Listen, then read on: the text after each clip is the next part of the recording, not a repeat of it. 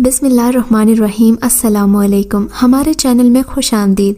नाजरीन, आज आपके लिए मैं इंतहाई खौफनाक सनसनीखेज और दिलचस्प कहानी लेकर आई हूँ। लेकिन कहानी शुरू करने से पहले आपसे गुजारिश है कि अगर आप हमारे चैनल पर नए हैं तो हमारे चैनल को ज़रूर सब्सक्राइब कीजिए, ताकि आपको हमारी वीडियो सबसे पहले मिलें।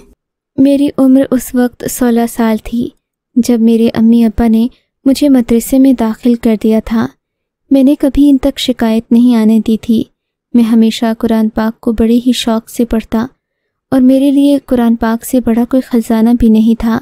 मेरे दिल में कुरान पाक की इतनी इज़्ज़त और इतनी अकीदत थी कि मैं जिस कमरे में कुरान पाक होता, वहाँ सोता भी ना था। मेरे लिए कुरान पाक दुनिया की मुक़दस तरीन चीज़ थी और हकीकत भी यही है। ताहम मेरी ज़िंदगी में एक ऐसा वाक़ भी पेश आया जिसने मुझे अल्लाह के कलाम से दूर कर दिया और मेरी सारी तौफीक छीन ली। मैं गुनाह की दलदल में धंसता चला गया। आज आप मेरी कहानी सुनेंगे तो आपको भी यकीन हो जाएगा कि गुमराह होने के लिए गुनहकार होना ज़रूरी नहीं है। बाज़ अवत नेक लोग भी दुनिया की रंगीनी में खोकर अल्लाह को भूल जाते हैं। मेरे साथ भी कुछ ऐसा ही हुआ। जब मैं सोलह साल का हुआ तो अम्मा ने मुझसे कहा कि अब तुमने कुरान मजीद की तिलावत मुकम्मल कर ली है। तुम माशाल्लाह रवानी से कुरान पढ़ भी लेते हो। इसलिए मैं यही चाहूँगी कि तुम कुरान पढ़ने के लिए बाकायदा अब मस्जिद जाना छोड़ दो। तुम्हारी उम्र सोलह साल हो चुकी है। अब तुमने दो तीन बार कुरान पढ़ भी लिया है। अब तुम बेहतर है कि पढ़ने के लिए शहर चले जाओ। क्योंकि तुमने ज़िंदगी भी गुजारनी है, रोज़ी रोटी भी तो कमानी है। मैं अम्मा को लाख समझाता कि रोज़ी रोटी कमाने के लिए शहर से बाहर जाना ज़रूरी नहीं है, मगर मेरी माँ न जाने किस कदर संग दिल थी। इनको मेरे घर से जाने की कोई कमी नहीं थी। कहने लगी कि बस तुम दुनियावी तालीम भी हासिल करोगे तो मुझे सुकून रहेगा कि मेरे मरने के बाद भी इस दुनिया में तुम्हारी रिस्क और रोटी का बंदोबस्त तुम खुद कर लोगे। मैं अम्मा की बात सुनकर मुस्कुरा दिया मैं उनसे बहुत कुछ कहना चाहता था कि रिस्क सिर्फ़ अल्लाह के हाथ में है और वो मौत की तरह इंसान का पीछा करता है। पर अम्मा के सामने बहस करना मुनासिब नहीं समझा। मैंने कहा कि जैसा आप कहेंगी, बिल्कुल वैसा ही करूँगा। मैं कल ही शहर के स्कूल के बारे में जाकर पता कर आऊँगा कि वहाँ की फ़ीस कितनी है, रहने के लिए क्या ख़र्चा करना पड़ेगा और बाकी तरीक़ाकार क्या है। अम्मा मेरी बात सुनकर बहुत खुश हुई। मुझे दुआएँ देने लगीं। अब्बा जी की भी यही मर्ज़ी थी। मेरे चचाजाद बहन भाई दरअसल कई अरसे से शहर में आबाद थे। इनके अब्बा जान यानी कि मेरे चचा की वफ़ात के बाद से ये लोग शहर चले गए थे, इसलिए कि किसी बड़े ने इन्हें रोका नहीं था। खैर, इन लोगों को शहर में रहते हुए तकरीबन तकरीबन एक साल हो गया था। मैं जानता था कि मेरे शहर जाने पर सबसे ज़्यादा बुरा मेरी चची जान को लगेगा, क्योंकि वो ये नहीं चाहती थी कि गाँव में से कोई भी और शहर की तरफ़ हिजरत करे। खैर से मैं तो अम्मा अब्बा की वजह से गया था। मैं शहर जाकर बाकी सारी मालूम पता कर आया था, पर रिहाइश का मसला था। शहर में रहना बहुत ही महँगाई का काम था। शहर में हॉस्टल के भी किराए बहुत ज़्यादा थे।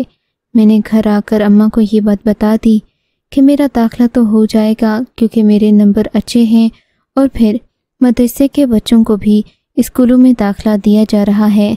इनको आठवीं की सनत मदरसा बना देता है। अम्मा ये बात जानकर बहुत खुश हुई। इन्होंने अब्बा जान से बात की और कहा कि आप अपने चचाजाद बहन भाइयों से कहिए कि वो आपके बेटे को अपने घर में रहने के लिए जगह दे दें। अब्बा ने कहा, ठीक है, वो ऐसा क्यों नहीं करेंगे? मैं उनसे अभी बात करता हूँ। यहाँ तक कि अब्बा ने इन लोगों से बात कर ली और मेरा वहाँ रहने का बंदोबस्त हो गया। मैं बहुत खुश था। मेरे चचाजाद बहन भाई बचपन से ही मेरे दोस्त थे। अलबत् चची जान से मेरी ये पहली मुलाकात होना थी और वो भी सालों बाद, क्योंकि मैं बचपन में ही मदरसे चला गया था और चची जान मेरे चचा की दूसरी बीवी थी। इनके आने के बाद ही चचा की वफ़ात हुई थी, सो ये अभी तक जवान थीं और इनके दो बच्चे भी थे जो कि तकरीबन दस और चौदह साल की उम्र में थे।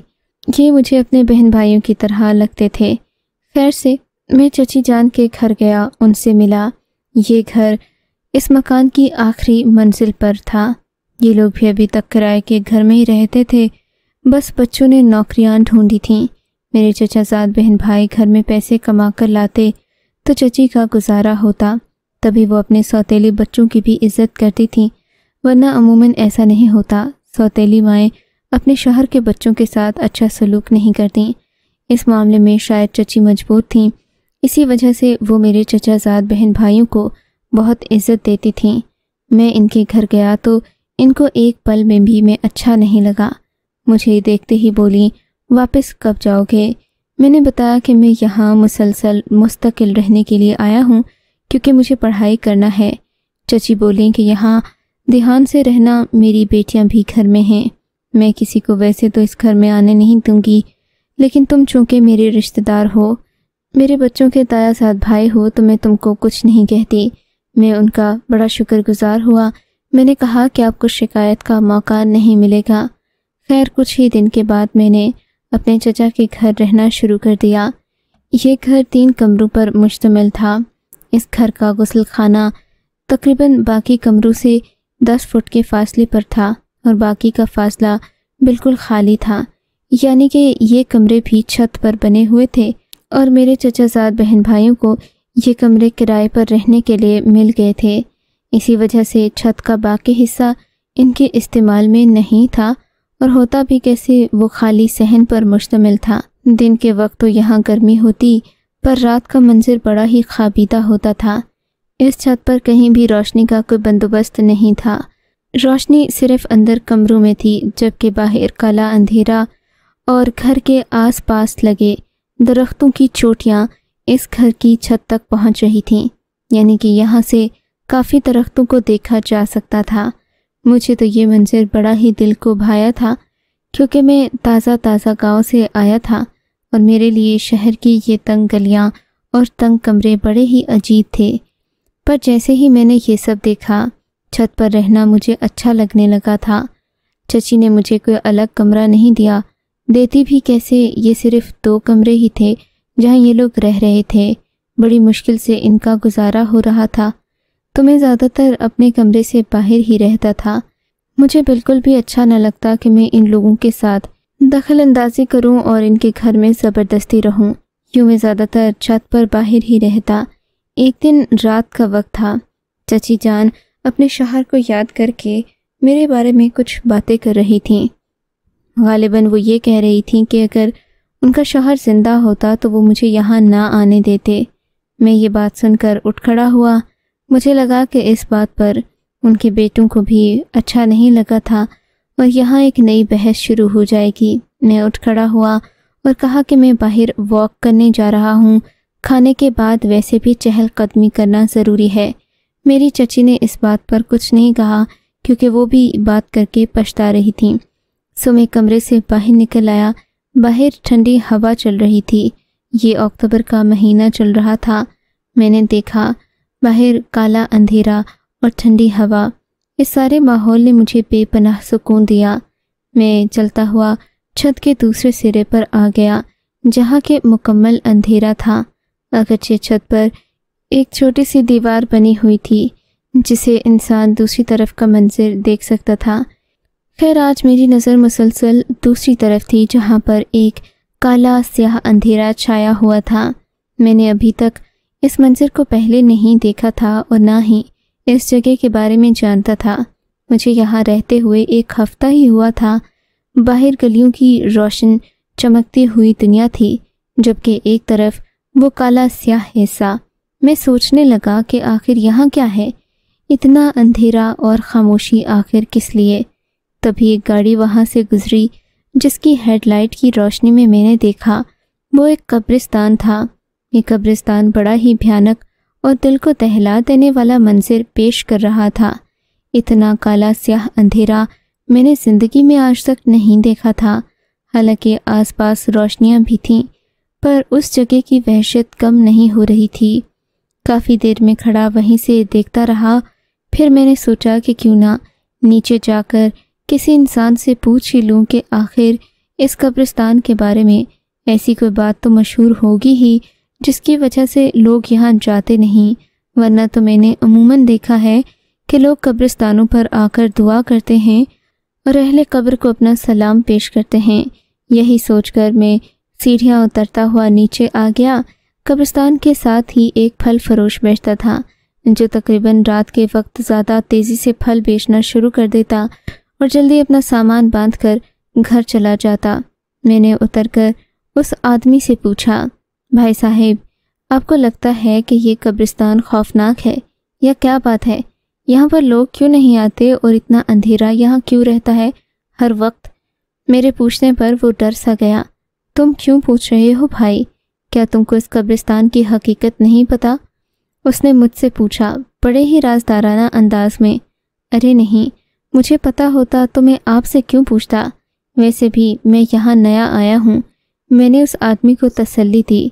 वो अपना काम छोड़कर मेरे पास आया और बड़ी ही राजदारी के साथ सरगोशी वाले अंदाज में बताया, देखो लड़के, ये बात तुम किसी को मत बताना। मैं तुमको ही राजदार समझकर ये बात बता रहा हूँ। उम्मीद है कि तुम इस राज की हिफाजत करोगे। देखो, बहुत अरसा पहले लोगों ने यहाँ पर कुछ औरतों को देखा था। ये औरतें किसी को जानती नहीं थी, ना इन औरतों को कोई जानता था। सबने देखा कि ये औरतें कब्र पर बैठकर रोती हैं और जो भी रात को इस तरफ़ आ जाता, उसे भी अपने पास बिठा लेती और अपनी आहो वजारी उसको सुनाती। उस दिन के बाद से यहाँ पर कोई नहीं जाता। ये मामला बहुत सारे लोगों के साथ पेश आ चुका है, जबकि करीबी मस्जिद के अलामा साहिब का कहना है कि बार बार ऐसे ख़तरे में ख़ुद को नहीं डालना चाहिए। अगर वो जिन ज़ातियाँ तुम इंसानों को कुछ नहीं कहती, तुम्हारे साथ बैठ कर राहो वजारी भी करती हैं तब भी ये गलत है। सो तुम इस कब्रिस्तान से दूर रहो और इसकी सफ़ाई महीने में एक दो बार करवा लिया करो। मैं ये बात सुनकर हक्का बक्का ही रह गया था। मैंने तो सोचा नहीं था कि ये कब्रिस्तान इतना मुख्तलिफ़ होगा। उसके बारे में इतनी बड़ी कहानी भी मशहूर होगी। फिर उसने मुझसे कहा कि तुम कभी इस कब्रिस्तान के करीब मत जाना, वरना तुम्हारे साथ बहुत बुरा होगा। मैंने कहा, मैं ख़तरों का खिलाड़ी हूँ। ऐसा तो हो नहीं सकता कि मैं इस कब्रिस्तान में ना जाऊँ। मैं ज़रूर जाऊँगा और दुआ भी करूँगा। तुम मुझे रोक नहीं सकते। मेरी बात सुनकर उसे बड़ा गुस्सा आया, मगर वो खामोश रहा। फिर बुड़बुड़ाते हुए बोला, आजकल की नौजवान नस्ल तो किसी की बात नहीं सुनती। मैं बूढ़े की बात पर हंस दिया और वापस ऊपर आ गया। तब तक खाना भी पक चुका था। मैंने अपने चचाजाद बहन भाइयों के साथ मिलकर खाना खाया। अब मैंने सोच लिया था कि मैं अगली दफ़ा उस कब्रिस्तान पर ज़रूर जाऊँगा, पर दिन के वक्त जाऊँगा। मैं उस वक्त भूख लगी थी। खाना खाकर जल्दी ही सो गया था। यूँ सुबह जल्द ही मेरी आँख खुल गई। ये फजर का वक्त था। मैंने उठकर वज़ू किया, नमाज़ पढ़ी और बाहर छत पर आ गया था। हल्की हल्की ठंड थी। मैंने नमाज़ पढ़ी और फिर सोचने लगा कि मुझे रात को कब्रिस्तान जाने का ख्याल आया था। क्यों ना मैं अभी चला जाऊँ? वैसे भी अभी हल्की हल्की रोशनी तो थी ही। मुझे जो देखना था, वो इस रोशनी में नज़र आ सकता था। मैंने फ़ौरन से पहले अपने जूते पहने और सीढ़ियाँ उतरता हुआ नीचे चला गया। खुशकिस्मती से घर का मरकज़ी दरवाज़ा भी खुला हुआ था। मैंने दरवाज़ा खोला और तकरीबन भागता हुआ कब्रिस्तान की तरफ़ जाने लगा। वहाँ पहुँचते ही मैंने अहले कबूर को सलाम किया, फिर फातिहा पढ़ी और सलाम फेरा। मैंने बड़ी खुश इल्हानी से कुरान करीम की तिलावत की थी और अहले कबूर की मगफरत की दुआ की थी। ये सब करने के बाद मेरे दिल को एक सुकून सा मिला और मैं सोचने लगा कि लोग कितना गलत कहते हैं इस कब्रिस्तान के बारे में। मैं भी आया, मैंने यहाँ दुआ की मुझे तो ऐसा कुछ देखने को नहीं मिला। हालाँकि ये सब सवेरे का वक्त था, सब लोग सो रहे थे, जबकि रात के वक्त तो अक्सर लोग जागते हैं और इस शहर की रौनकें भी बहुत होती हैं। अभी ही तो ये कब्रिस्तान वीरान था। अगर कुछ होना होता तो मुझे क्यों नहीं हुआ? पर शायद कि ये मेरी भूल थी। कुछ वक्त के लिए मुझे ऐसा महसूस हुआ कि यहाँ कुछ ना होगा, पर एक अजीब दुनिया मेरा इंतज़ार कर रही थी और मैं इस बात से बिल्कुल ही नावाकिफ़ था। खैर, मैं वापस आया तो चची जान ने नाश्ता बना लिया था। मेरी आदत थी कि मैं नाश्ता करने से पहले फजर की नमाज़ के बाद कुरान पाक की तलावत किया करता था। मगर आज चूँकि मैं कब्रिस्तान चला गया, सो तलावत करने की याद नहीं रहा। मैंने नाश्ता किया और जल्दी जल्दी कॉलेज जाने के लिए तैयार हुआ। कॉलेज पहुँचते हुए मुझे तकरीबन आधा घंटा लगा, मगर मुझे पता ही नहीं चला कि यह आधा घंटा गुजरा कैसे। क्योंकि मैं किसी और ही ख्यालों में गुम था। मुझे बार बार लगता जैसे मेरे साथ कोई चल रहा हो। मैं भूलने की कोशिश भी करता तो मेरा वहम मेरे सर से न जाता। दिन का वो हिस्सा न जाने कैसे गुजरा। फिर छुट्टी हो गई और मैं घर आ गया। घर आते ही मुझे गहरी नींद ने आ लिया। मैं उसी कमरे में जाकर सो गया जहाँ पर ज़्यादातर गर्मी और अंधेरे का राज रहता था, क्योंकि इस कमरे में कोई और न आता था। और वैसे भी अब तो खुनकी के दिन थे सो गर्मी महसूस नहीं होती थी। मैं जाकर कमरे में लेट गया। उस वक्त मेरे बाकी चचाजाद बहन भाई घर नहीं आए थे। मुझे सोए हुए भी थोड़ी देर ही गुजरी होगी कि मुझे अपने कमरे में अपने अलावा किसी और की भी मौजूदगी का एहसास हुआ। मैंने आँखें खोलकर इधर उधर देखा, मगर वहाँ कुछ भी नहीं था। मैंने इसको अपना वहम समझा और वापस सोने की कोशिश करने लगा। अभी मैंने आँखें बंद ही की थीं। कि मुझे अपनी दोनों आँखों पर किसी के हाथ का लम्स महसूस हुआ, ये निस्वानी हाथ था। लगा था जैसे किसी ने मेरी आँखों पर हाथ रख लिया हो। मैंने पटपटा कर आँखें खोल दी, मगर एक बार फिर नाकामी हुई। सामने तो कुछ भी नहीं था। मैं हैरत से इधर उधर देखने लगा। मुझे तो अब अपना आप पागल लगने लगा था। मगर कुछ न कुछ था जो मेरे जहन पर सवार था और मुझे तंग करने की कोशिश कर रहा था। मैंने आयतुल कुर्सी पढ़ी और सोने की कोशिश करने लगा। मुझे गहरी नींद आई थी। जब मैं जागा तो शाम के पाँच बज रहे थे और मेरे बाकी चचाजाद बहन भाई भी घर आ चुके थे। उन्हीं के कमरे में आकर शोर करने से मेरी आँख खुली थी। मैं बाहर आया तो देखा मौसम अबर आलूद हो रहा था। काली घटाएँ पूरे आसमान को ढांक कर रखे हुए थीं। लगता था कि थोड़ी ही देर में मूसलाधार बारिश होगी। बारिश का मौसम हमेशा मुझे दीवाना कर देता था। मैं बारिश में बहुत खुश होता था और वैसा ही हुआ। अभी मैं पानी पीने अंदर गया ही था कि कटाकट बारिश बरसने लगी थी। मेरे सब चचाजाद बहन भाई अंदर कमरे में चले गए, पर मुझे बारिश देखना थी, सो मैं बाहर ही रुक गया। मैंने अपने आम से कपड़े पहने जो मैं घर में पहना करता था और बाहर बारिश में नहाने के लिए आ गया। दिन के पाँच बजे थे, मगर पूरे आसमान पर छाई काली घटाओं की वजह से हर जगह अंधेरा फैल गया था। लगता था जैसे मगरिब का समा हो। हालाँकि मगरिब इन दिनों तकरीबन साढ़े छः बजे होती थी। मैं बारिश में भीगता हुआ काफ़ी आगे चला गया। हमारी छत पर छोटी सी दीवार बनी थी, जिसकी वजह से गिरने का खतरा नहीं होता था, और शायद कि इसी वजह से मैं दीवार के करीब जाकर बाहर का मंजर देखने लगा। मेरी नज़र तभी भीगते हुए उस कब्रिस्तान पर पड़ी, जो कि हमेशा वीरान रहता था।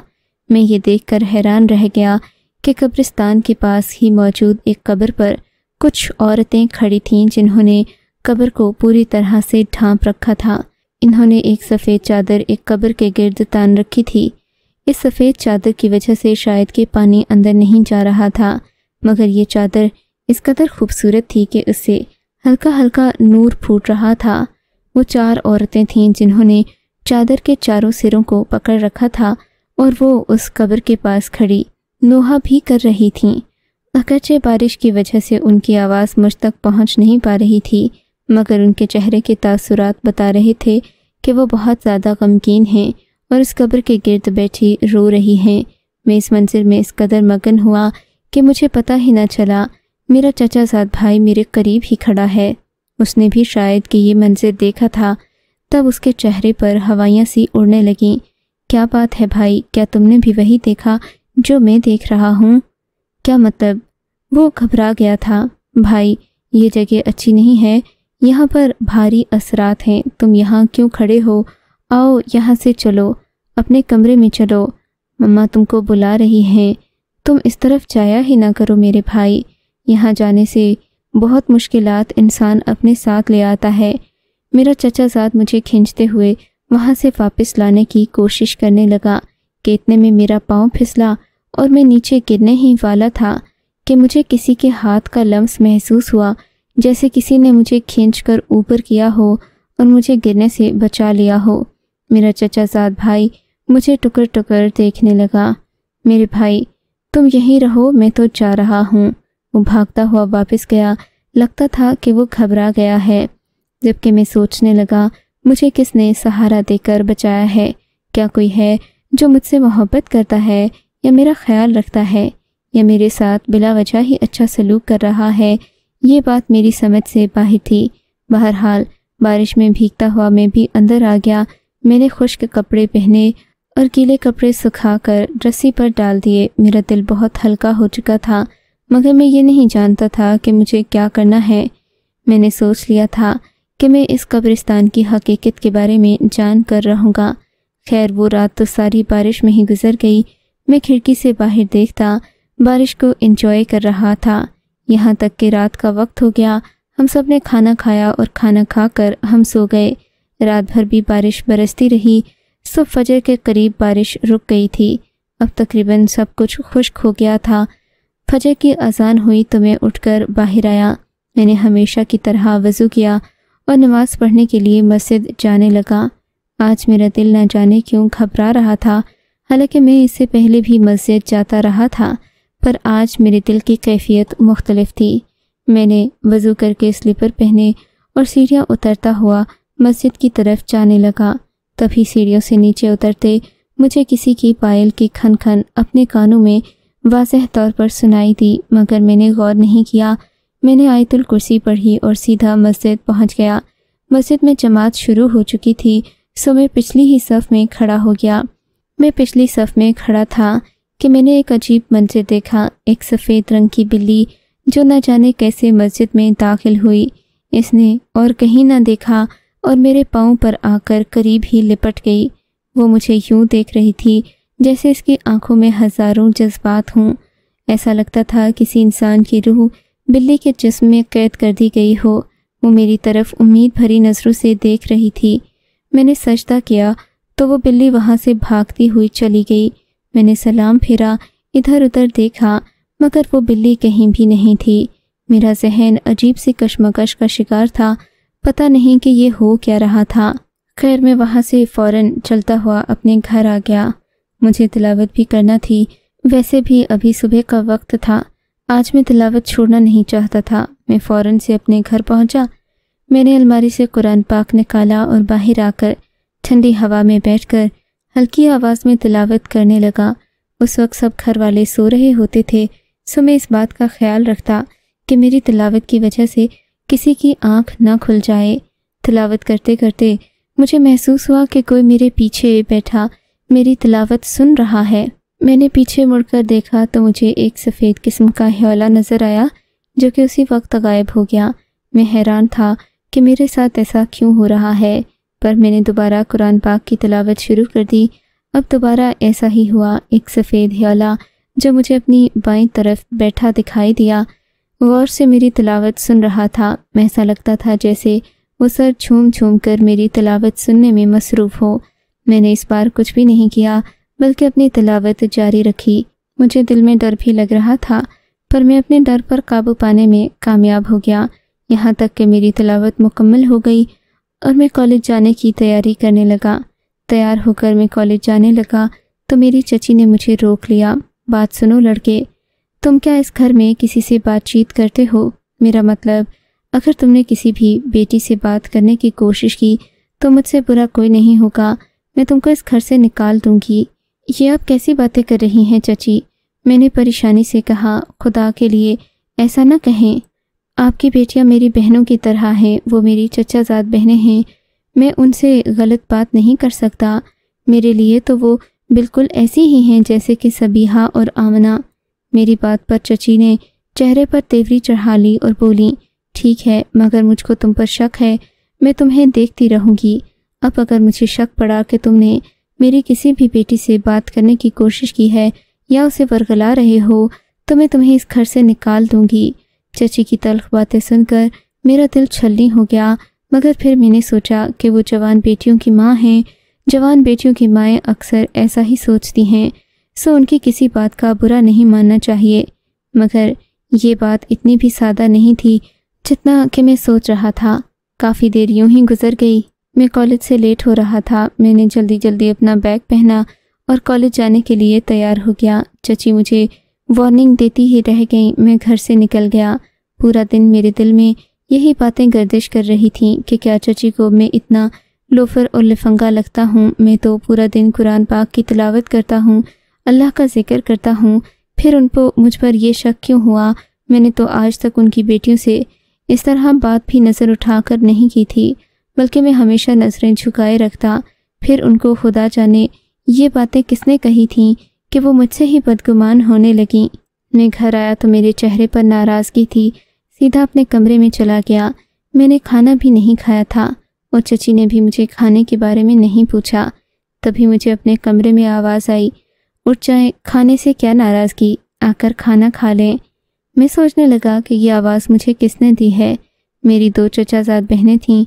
दोनों की आवाज़ को मैं पहचानता नहीं था, क्योंकि मैं हमेशा सर झुकाए रखता लेकिन ये इन दोनों की आवाज़ भी नहीं लग रही थी। मैं सोच में पड़ गया। शायद कि इसीलिए चची जान मुझ पर शक करती हैं। मैं दिल ही दिल में सोचने लगा। मैंने पीछे मुड़कर देखा, मगर वहाँ कुछ भी नहीं था। अब मैं फिर हैरान हो गया, या अल्लाह, जब मैं किसी से बात नहीं करता तो खामखा मेरे साथ ऐसे मामला क्यों हो रहे हैं, जिनसे मेरे लिए मुश्किल पैदा हो? यही सोच मुझे मारे जा रही थी, मगर मैं कुछ कर नहीं पा रहा था। मैंने देखा, मेरे सामने मेज़ पर लजीज खाना रखा हुआ था। बिरयानी, कोफ्ते, सलाद और रायता वगैरह। इतना अच्छा खाना तो मुझे ज़िंदगी में किसी ने नहीं पूछा था। हालाँकि मैं चची के घर रहता था, पर ये मुझसे मेहमान जैसा सलूक नहीं करते थे।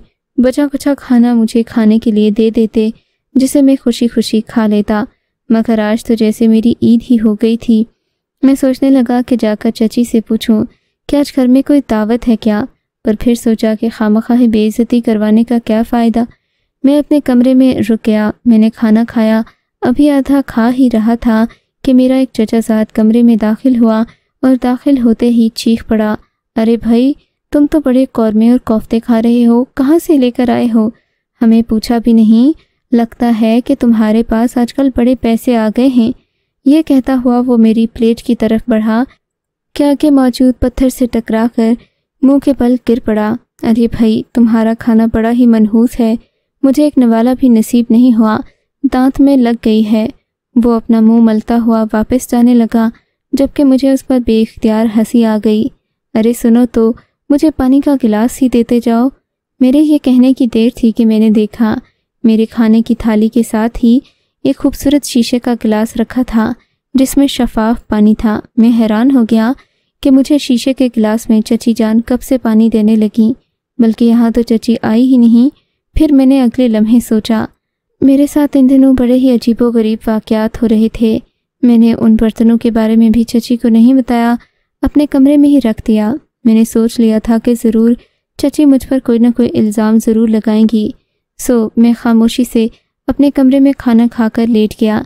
अभी मेरा उठने का दिल नहीं चाह रहा था। तभी नमाज़ का वक्त हो गया मैंने अजान की आवाज़ सुनी और वापस नमाज़ के लिए उठ गया। मैं नमाज़ पढ़कर वापस आया तो देखा घर में एक अलग ही अदालत लगी हुई थी। चची जान के चारों बेटे उनके आसपास बैठे थे और दोनों बेटियाँ कहीं नज़र नहीं आ रही थीं। मुझे देखते ही चची जान बोली, आ गए तुम? लगते तो तुम बड़े मौलवी हो, मगर चक्कर भी चला लेते हो। मैंने मौलवियों की ये सलाहियत पहली बार देखी है कि वो नमाज़ पढ़ने के साथ साथ दूसरे लोगों को बेवकूफ़ भी बना सकते हैं। चची ने करख लहजे में कहा यह आप कैसी बातें कर रही हैं चची? मैंने किसी को बेवकूफ़ नहीं बनाया। खुदा के लिए आप मुझ पर इल्ज़ाम तो मत लगाएँ। मैंने तो आज आपका खाना भी नहीं खाया। मेरी बात सुनकर चची हवा में आँख लहराने लगी। हाँ हाँ तुम मेरा पका हुआ खाओगे भी क्यों? लगता है पड़ोस से कोई लड़की आती है, जो तुम्हें खिड़की से खाना देकर जाती है। मुझे मोइज़ ने सब कुछ बता दिया है। कि तुम कौरमा कोफ्ते और पुलाव खा रहे थे। हमें सब पता है बेटा। इन्हीं सब मामला को देखते हमारी ज़िंदगी गुजरी है। तुम ये ना समझो कि तुम्हारी चची बूढ़ी हो गई तो उसे इन मामला का पता नहीं है। मैं तुम्हें अच्छी तरह जानती हूँ। तुम्हारा बाप भी ऐसा ही था। उसने भी तुम्हारी माँ को इसी तरह बातें करके फांसा था। चची की ये बात सुनकर मुझसे रहा नहीं गया और मैं बोल पड़ा, खुदा के लिए चची, आपको जो कहना है मुझे कहिए। मेरे अब्बा जी के बारे में ऐसी बात मत करें कि मुझे दुख हो, वरना वरना क्या कर लेगा तू? चची हंसने लगी। इस घर से चला जाएगा। अभी दफ़ा हो जा। चची की बात सुनकर मेरा दिल जैसे किसी ने खींच लिया हो। चला जाऊँगा चची। मैं भी इस घर के अलावा कहीं रह ही सकता हूँ। मुझे इतनी मजबूरी नहीं। न मैं इतना बेबस हूँ जितना कि आप समझती हैं। क्यों भाई, कोई अमीर लड़की फांस दी क्या? जो तुम्हें इतना गुरूर आ गया? चची की ये जहरीली बातें सुनकर मुझसे रहा नहीं गया। मैंने उनसे एक रात की मोहलत मांगी और अपने कमरे में आ गया। मेरा दिल बहुत परेशान था। मैंने चची को धमकी तो दे दी थी कि मैं अब यहाँ रहूँगा नहीं, पर मैं जाऊँ कहाँ? ये भी सोच बार बार मेरे जहन में आ रही थी। मेरे लिए तो कोई ऐसा ठिकाना भी नहीं था जो मैंने ढूंढ रखा हो। मैंने बस बात कर दी थी। अब मेरा दिल घबरा रहा था। या अल्लाह मैं कहाँ जाऊँ? मेरी मदद कर। यही सोचकर मुझे नींद आने लगी। ज़ोरों की नींद, जिसे मैं चाह कर भी टाल नहीं सका, मैंने फ़ौरन आँखें बंद कर लीं और सो गया। मुझे सोए हुए तकरीबन दो तीन मिनट ही गुजरे होंगे कि मुझे ख्वाब आया। मैं क्या देखता हूँ कि मेरे सामने एक सफ़ेद कपड़ों वाली औरत खड़ी है, जो मेरा हाथ मांग रही है। मैं उसे अपना हाथ देता हूँ। मेरा हाथ पकड़कर वो एक खूबसूरत घर में ले जाती है। उस घर में हर तरफ़ रेशमी पर्दे खूबसूरत किस्म के बेड वगैरह लगे होते हैं, जिन पर इंसान कभी बैठे भी तो लगे कि मैले हो जाएँगे। मैं ये देखकर हैरान ही हो रहा था कि उसने अपनी मधुर आवाज़ में मुझसे कहा, तुम्हारी तो जगह यहाँ है, तुम क्यों अपनी चची का जुल्म सह रहे हो? सब कुछ छोड़ो और मेरे घर आ जाओ। अभी ये बात हो ही रही थी कि कमरे का दरवाज़ा खुला और मेरी आँख खुल गई। मेरी चची जान सामने खड़ी थी। मुझे खूंखार निगाहों से घूरते हुए बोली, ये किसकी आवाज़ आ रही है? मुझे लगता है कि तुम बाज नहीं आओगे। पूरे मोहल्ले में हमारी बदनामी करवाओगे। चची जान, आपको क्या हो गया है?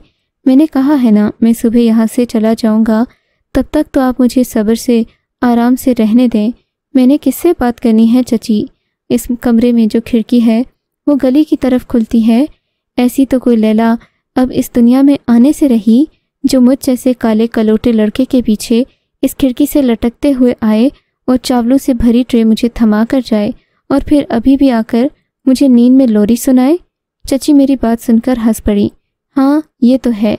काले कलोटे तो तुम बहुत हो, मगर फिर भी बातों के बड़े तेज और शातिर हो। हो सकता है कि तुमने कोई लड़की फांस ही ली हो। मुझे न जाने क्यों, जब भी तुम कमरे में आते हो, किसी लड़की की बातें करने की आवाज़ आती है। तभी मैं आकर तुमसे पूछती हूँ। पहले मुझे अपनी बेटियों पर शक था, मगर अब ऐसा नहीं है। मेरी बेटियाँ अपने कमरे में थीं, तब भी यही आवाज़ तुम्हारे कमरे से आ रही थी। मैं खुदा की कसम ये नहीं जानता कि वो कौन है, जिसकी आवाज़ आपको सुनाई देती है। आप बस कल तक का इंतज़ार करें, मैंने अपना बंदोबस्त कर लिया है। मैंने दिल ही दिल में सोचा, लेकिन दरअसल सहारा मुझे उस सफ़ेद चादर वाली का था, जिसको मैंने देखा था। मैंने उससे कोई बात तो नहीं की थी पर मुझे लग रहा था कि ये इशारा अल्लाह की तरफ़ से है और ज़रूर मुझे खुदा ताला की मदद मिल जाएगी। यही सोचकर मैं अपने कमरे में टहलने लगा, मगर अब मैं उस तक पहुंचूं कैसे? मैं यही सोचकर बातें अपने जहन में परेशान हो रहा था कि मुझे किसी ने कहा, तुम जाकर तलावत करो, मैं तुमसे वहाँ बात करूँगी। ये आवाज़ कमरे में एक ही बार गूंजी, पर मुझे इतना पता चल चुका था कि मुझे तिलावत करनी है। सो मैं अपने कमरे से बाहर आया। देखा तो वैसे भी रात का वक्त हो चुका था।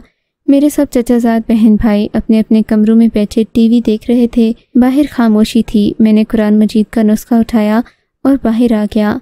लेकिन देखा तो अंधेरा था। अब मैं किसकी रोशनी में पढ़ूँगा? सोचा कि मैं ज़ुबानी ही तिलावत कर लेता हूँ। हो सकता है कि काम बन जाए। यही सोचकर मैं ज़रा दूर आ गया। हल्की आवाज़ में मैं सूरज जिन की तिलावत करने लगा। ये नहीं कि मैं ये सब इरादतन कर रहा था, बल्कि आज मुझे सूरज जिन ही पढ़ना थी। मैं एक तरतीब से कुरान पढ़ रहा था। अभी मैंने आधी ही सूरज जिन पढ़ी होगी कि मुझे अपने पीछे किसी की आवाज़ और किसी की आहट सुनाई थी। इस बार मुझसे रहा नहीं गया। मेरे हाथ में कुरान मजीद भी नहीं था। मैंने फ़ौरन पीछे मुड़कर देखा। क्या देखता हूँ? सफ़ेद कपड़ों में मलबूस वही औरत मेरे सामने खड़ी है। पहले वो मुझे दूर से देखकर मुस्कुराने लगी, फिर बोली आओ बेटा, मैं तुम्हें तुम्हारे घर ले चलूँ। मैं ये बात सुनते ही अपनी आँखों में आँसू लिए उस औरत की तरफ़ बढ़ा। न जाने क्यों मैं किसी ट्रांस किसी कैफियत में उसके साथ चला जा रहा था। मुझे कुछ मालूम नहीं था कि वो कौन है, कहाँ से आई है, पर ख्वाब में आने की वजह से मुझे उस पर भरोसा भी तो बे इंतहा हो चुका था। मैं उस औरत के साथ चलता आया। वो आगे आगे चल रही थी, मैं उसके पीछे। मुझे तो ये भी नहीं पता था कि मैं जा कहाँ रहा हूँ। बस मुझे अल्लाह पर भरोसा था। सीढ़ियाँ उतरकर सीधा वो औरत कब्रिस्तान की तरफ़ बढ़ गई। मुझे वैसे तो ये कब्रिस्तान बहुत ड्रावना लगा करता था, मगर आज उस औरत की मौजूदगी में मैं ज़रा भी हिचकिचाया नहीं। कब्रिस्तान के अंदर दाखिल हो गया। कब्रिस्तान की आखिरी दीवार के करीब पहुंचकर उस औरत ने दीवार पर हाथ रखा तो दीवार जैसे कहीं गायब ही हो गई। फिर वो औरत अंदर दाखिल हो गई, मैं भी उसके पीछे चला आया। वो एक बड़े से कमरे में गई। ये कमरा खूबसूरत, सफ़ेद संगे मरमर का बना हुआ था। ऐसा लग रहा था जैसे मैं कोई ख्वाब देख रहा हूँ। हालाँकि ये जीती, जागती, हकीकत थी। मैं उस औरत के साथ आगे आगे बढ़ता जा रहा था और वो मुझे इशारे से पीछे आने का कह रही थी। यहाँ तक कि वो एक सफ़ेद तख्त पोश तक पहुँच गई। उसने मुझे वहाँ बैठने का हुक्म दिया। मैं बैठ गया फिर वो मेरे सामने बैठी, मुझे सलाम किया और बोली, तुम कौन हो बेटा?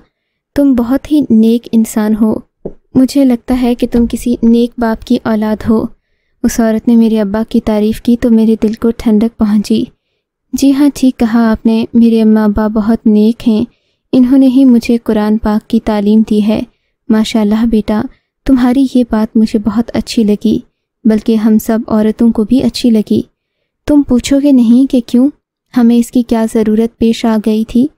नहीं, आप मुझे बता दें, मैं इस बारे में कोई इल्म नहीं रखता। दरअसल बेटा, तुम यहाँ नए आए हो, इस बात को समझो कि नहीं, पर यह इलाका, बरसों से हमारी मिल्कियत है। हम लोग यहाँ रहते आए हैं। हमारे आबाओ अजदाद ने अपनी ज़िंदियाँ यहीं गुजारी हैं। मगर कुछ अरसे से हमारे लिए बहुत ज़्यादा मसले मसाइल पेश आ रहे थे। यहाँ पर वैसे तो आबादी बढ़ने से हमारा जीना ज़रा मुश्किल हो गया था, मगर वो भी मसला नहीं था। हमें इंसानों के वजूद से कोई तकलीफ़ नहीं होती, ना ही हम इंसानों से छेड़छाड़ करते हैं। वो औरत जूं जूं मुझे ये बातें बता रही थी, मेरी आँखें मारे हैरत के खुलती जा रही थीं। जी तो क्या मतलब है आपका? आप इंसान नहीं हैं? मैंने हैरत से पूछा। नहीं बेटा, हम तो जिन्नात हैं, मगर तुम हमसे ज़रा भी खौफ ना खाओ। हम अपनी अच्छी सूरत में ही तुम्हारे सामने आएँगे।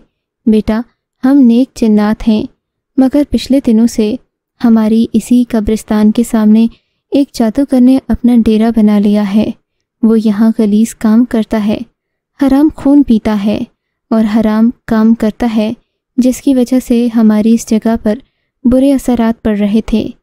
हम लोग अपनी ताकत के ज़रिए इससे लड़ने की कोशिश भी कर रहे थे पर हमारे लिए ऐसा मुमकिन नहीं था। बेटा, मैं तुमको अब जो बात बताऊँगी, तुम्हें उस पर यकीन नहीं आएगा। तुम जानते हो कि जब तुम सुबह उठकर कुरान पाक की तिलावत करते हो, अपने घर की छत पर बैठते हो, तुम्हारे तिलावत करने से इर्द गिर्द के इलाके में एक नूर फैल जाता है। बेटा, तुम खुलूस दिल से अल्लाह का नाम लेते हो। अल्लाह की रहमतें और बरकतें शायद तुम देख नहीं सकते, पर हम जिन्नात हैं, हम आग से बने हैं हम ये सब देख सकते हैं। हम नूरी मखलूक को भी देख सकते हैं। वो मखलूक जो नूर से बनी है, वो हमें नज़र आती है बेटा। और तुम्हारे नेक आमाल की वजह से हमारी बस्ती में भी खुशहाली हो गई है। वो जादूगर अपने मुक्लों को बुलाता है तो वो यहाँ से भाग जाते हैं। और जब तुम सूरह जिन की तलावत करते हो, तब तो उसके मुक्लों का दम घुटता है। क्योंकि वो बुरे हैं, वो शयातीन हैं। शयातीन की औलाद और बच्चे हैं।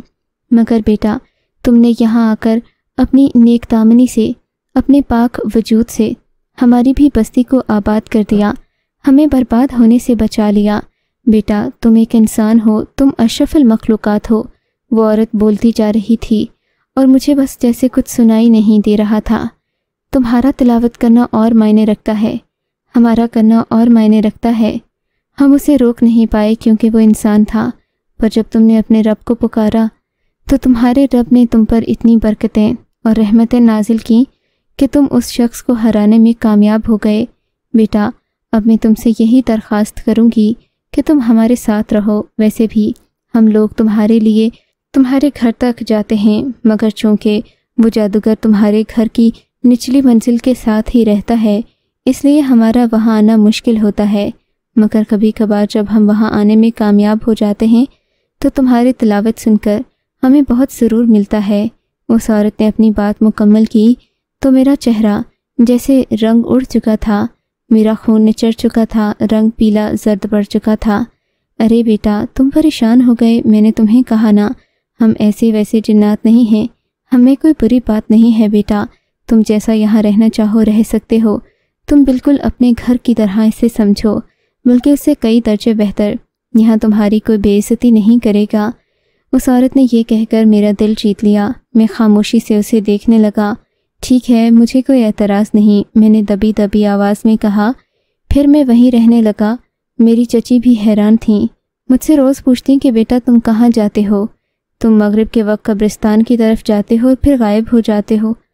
मेरे बच्चे तुम्हें ढूंढते हैं। तुम्हारे जाने से घर में अजीब अजीब चीज़ें होने लगी हैं। कभी कभार नीचे सीढ़ियों से बदबू आती है और ऊपर कमरे तक आने लगती है। मैं समझ गया था कि चची को क्या चीज़ तंग कर रही है। ये उसी जादूगर के कमालात थे, जो हमारे घर की निचली मंजिल के साथ ही रहता था। मैंने चची के बच्चों को नमाज़ पढ़ने की तलकीन दी, मगर वो लोग सुस्त थे। वो नमाज़ पढ़ने को अपने लिए बहुत मुश्किल काम समझते थे, पर मैं उनकी मदद नहीं कर सकता था, क्योंकि जिन लोगों ने मुझे मुश्किल में सहारा दिया मैं उनको छोड़कर कैसे अपने उस पुराने ठिकाने पर वापस चला जाता, जहाँ मेरी कोई इज़्ज़त ही नहीं। मैं यहाँ तीन साल रहा, मुझे कोई तकलीफ़ नहीं हुई। उसके बाद मैं अपने घर भी गया।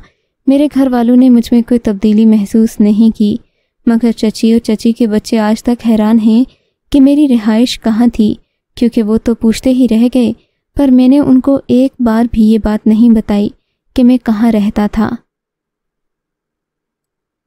अगर आपको ये कहानी अच्छी लगी है तो इस वीडियो को लाइक कीजिए और इस तरह की मज़ीद वीडियोस देखने के लिए हमारे चैनल को सब्सक्राइब कीजिए। और हाँ अगर आपकी किसी दोस्त, रिश्तेदार या बहन के साथ खुदा न करे ऐसा कोई वाक़ पेश आया है तो हमें कमेंट सेक्शन में उसके बारे में ज़रूर बताइए।